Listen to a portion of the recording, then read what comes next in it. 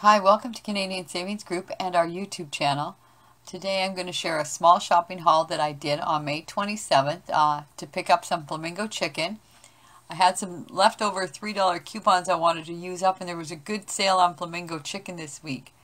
I got $80 in flamingo chicken for under $30 so I saved like $50 on this flamingo chicken and it's going to last me a couple months in my house.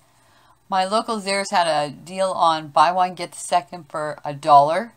So I used a $3 coupon on the first box, making the box of chicken $4.99. I used I paid a dollar for the second box, so that was $5.99 for two boxes, which is like $3 a box.